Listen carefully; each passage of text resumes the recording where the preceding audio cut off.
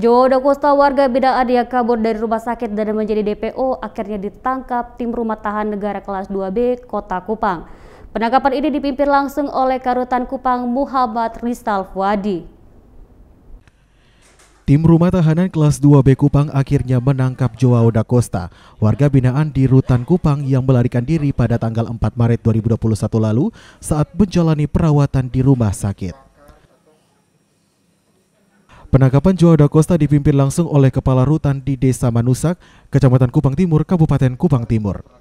Kepala Rutan kelas 2B Kupang Muhammad Rizal Faudi mengatakan, penangkapan ini dilakukan setelah mendapat informasi dari pihak keluarga.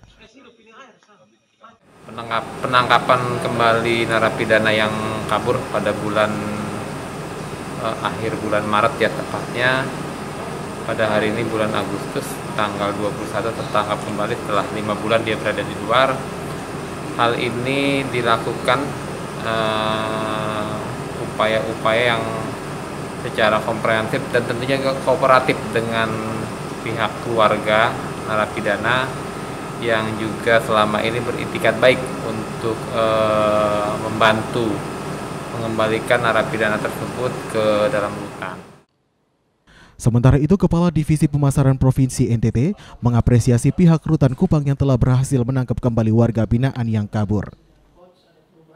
Pertama, saya memberikan apresiasi ya yang luar biasa ke Pak Karutan dan seluruh tim, seluruh jajaran uh, pada saat pelarian uh, beberapa waktu yang lalu di tanggal 4 Maret 2021 dari Rumah Sakit Siloam uh, yang pada akhirnya juga berkat kerjasama Pak Karutan dengan pihak keluarga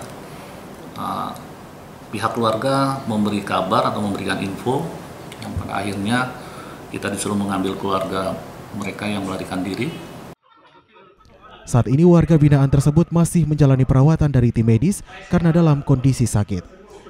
Usai perawatan di rumah sakit, dirinya akan kembali menjalani proses hukum di Rutan Kupang. Dari Kupang, Oktobala, tim iNews melaporkan.